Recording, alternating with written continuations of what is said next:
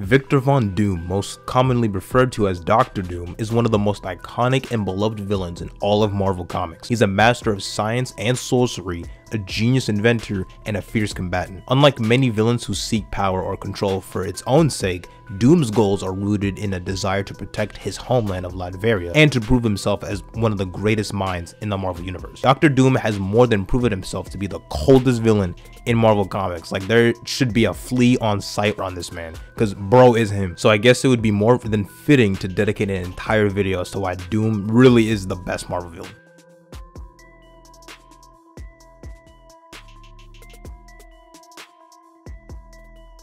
Doctor Doom has one of the most intricately put together origins out of all iconic comic villains to date. His origin was first revealed in the pages of Fantastic Four Annual 2 by Stan Lee and Jack Kirby in July of 1963, and even further expanded upon by Ed Brubaker in the Book of Doom six issue miniseries. Victor Von Doom was born in a Romani camp near Latveria and his mother delved deeply into dark magic practices, communicating with demons and using spells. Many people in Latveria faced persecution by the Baron. Victor's mother actually made a deal with the demon Mephisto to have the power to kill the Baron's men but in return, she would have to give her soul up to the devil himself, which is Mephisto. She ended up being killed by a dying guardsman, and upon her death, her soul was then trapped in Mephisto's realm. The Baron's wife became ill and sought out Victor Von Doom's father, Werner Von Doom, to save his dying wife, since Victor's father was a renowned medicine man. When the Baron's wife ended up dying from cancer, the Baron labeled Werner a murderer and called for his death. After an attempt to flee with his son Victor, his father ended up freezing to death on a cold winter night. Thus, when Victor then made all efforts to increase his knowledge for both science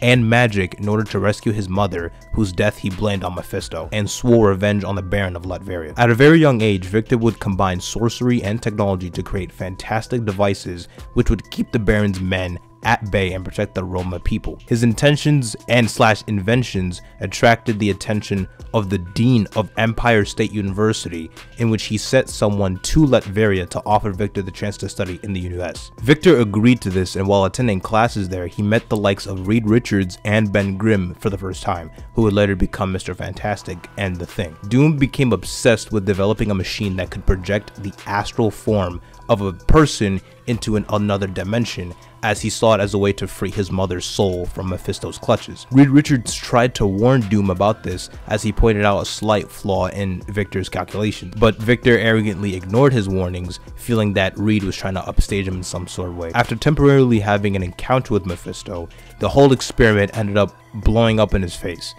like literally like the machine actually ended up causing an explosion which severely damaged his face. He was soon expelled for conducting the unethical experiment and then from then on he blamed reed richards for the destruction of his face as well as the explosion. Victor then decided to travel the world and he eventually came upon a small tibetan village of monks in which he quickly mastered the monks arts and disciplines so effectively that he ruled over the monks themselves. Victor then forged a suit of armor and gave himself the name Doctor Doom. As Doctor Doom, he returned to his homeland of Latveria to overthrow the leader and declare himself as the new king of Latveria. He succeeded in leading a revolution to take over Latveria from the Baron and began to use his country's resources in order to further his plans of world domination. A main reason as to why Doctor Doom is one of the more formidable villains in Marvel Comics is his overall skill set. Doctor Doom's most dangerous weapon by far is his intellect slash intelligence. He's considered one of the most brilliant minds and scientists on planet Earth pretty much on par with Reed Richards himself. Doom has constructed hundreds of devices including a working time machine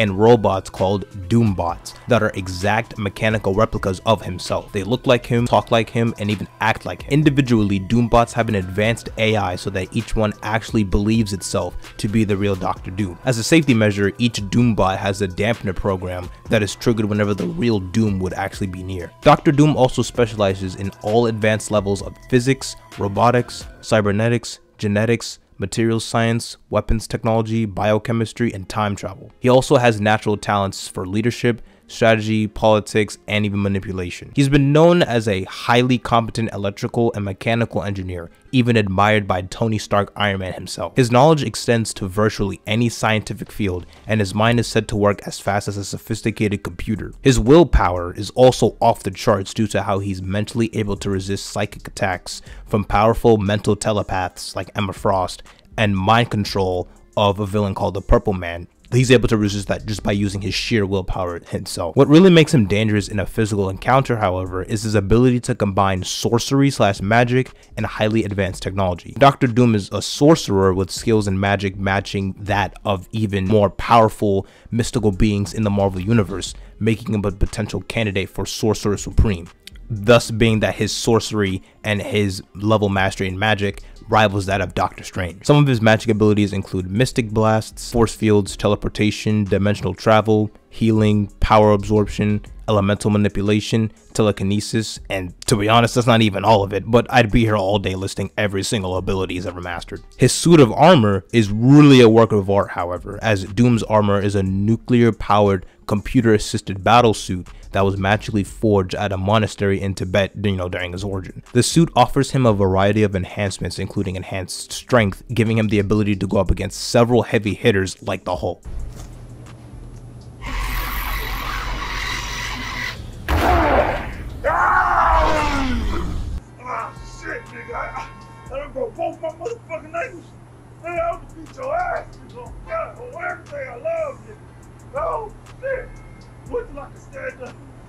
The armor is coated with a high strength titanium alloy enchanted with magic and has been shown durable enough to take blasts from the Infinity Gauntlet to point blank range with little to no harm. The suit also allows him access to concussive blasts, force fields, flight sensor systems, and vacuum resistance to survive in space, just to name some things. Doctor Doom's efforts all lead to him wanting to make the world a better place, believe it or not. Doom wants what's best for humanity and his desire to rule the world is based on his desire to fix it. It's just that he pretty much is willing to do whatever he deems necessary to reach that set goal, which puts him at odds with so many of the heroes in the Marvel Universe. In the story arc called Doom War, the Wakandan Panther God looks into an infinite number of futures and sees that the only one free from violence and oppression is that in which Doctor Doom pretty much rules all. There's also the fact that Doctor Doom's ego is insane levels, you know, gigantic. Like, you thought Tony Stark has an ego, Doom makes him look like a humble priest in comparison. Doctor Doom's most impactful storyline in Marvel Comics is his role in Jonathan Hickman's 2015 Secret Wars event. Doom essentially serves as the main threat of the story after the main Earth 616 reality and the Ultimates universe collided due to multiversal incursions. Doom used the power of the Beyonders to salvage and build a planet named Battleworld, which was made up of the remains of several realities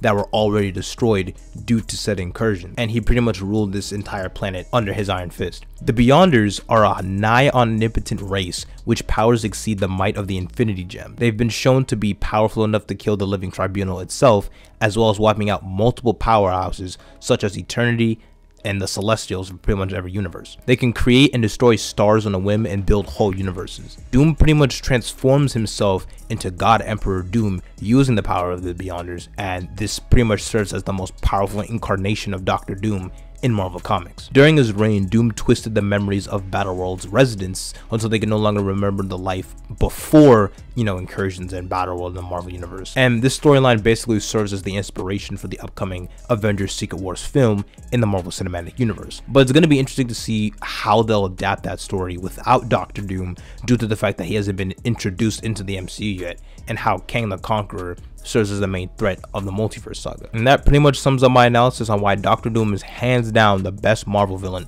we've ever got. We've explored his history, motivations, powers and abilities, and iconic armor, and it's clear that he's a complex and nuanced villain who has captured the hearts and imaginations of fans for decades. From his desire to protect his homeland of Latveria to his constant quest to prove himself as the greatest mind in the Marvel Universe, his mastery of science and sorcery, as well as his iconic armor, make him a formidable foe for the Marvel heroes, and his complicated relationships with other characters have led to some of the most iconic storylines in Marvel Comics history.